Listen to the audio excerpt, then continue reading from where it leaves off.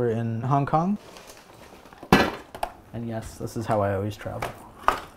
We have to get these computers set up so they're really reliable and installed in our factory so we can flash chips. Check all the test fixtures that are set up with our manufacturers. If everything happens nicely, it'll be six days of very tightly spaced back-to-back action. And when something gets screwed up, it'll create colossal cascading failures, which will be very exciting.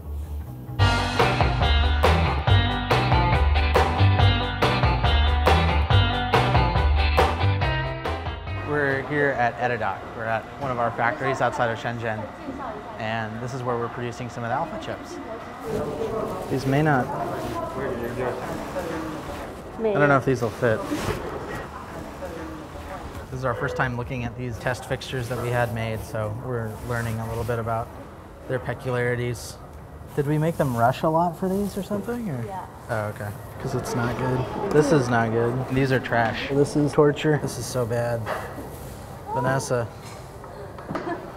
if we can't trust that the test fixtures are made to a quality where they're all going to say the same thing, it puts us in a really rough spot for knowing whether the chips that we made are good.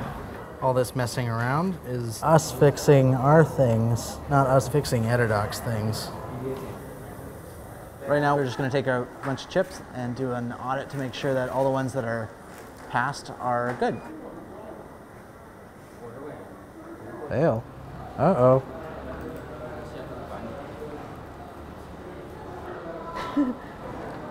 so for some reason, a lot of the chips that are already flagged as having been flashed are not flashed. So either it's that our flasher is not actually working, or it's that they weren't actually flashing them.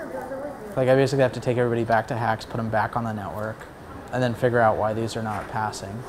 This stuff has to be really, really bomb-proof at the manufacturers, and it's just not there.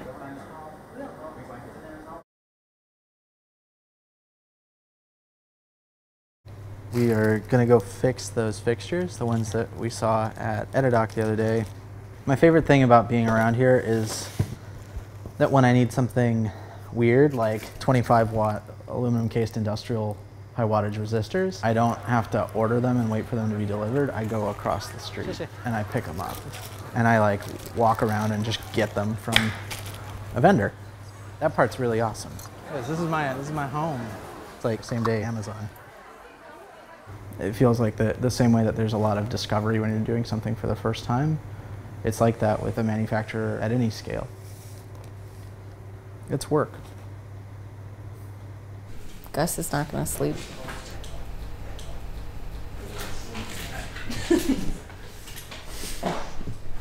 Basically, there's a couple different cases that we have to accommodate when we're flashing chips. So we want to make sure that our tool covers all of them. Are you worried about him? Him? No. Why? no, I'm not right about him.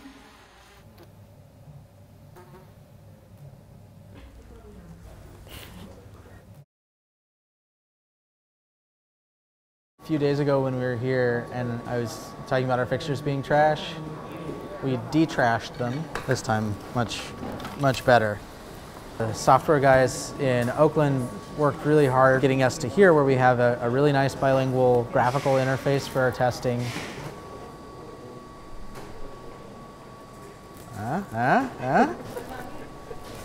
Huh? Huh? Huh? she said the mouse you have is cute, the product's cute, even the pen you get is nice.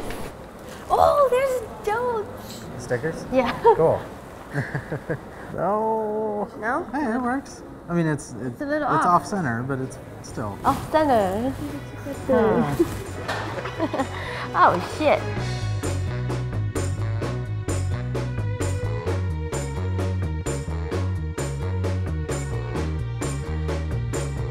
We met our goal for getting alpha chips from one of the manufacturers shipped out. People are tweeting us that they got the chips, which is great. It's a good test of our relationships with our manufacturers and all of our vendors here. I had to take a picture for the dudes.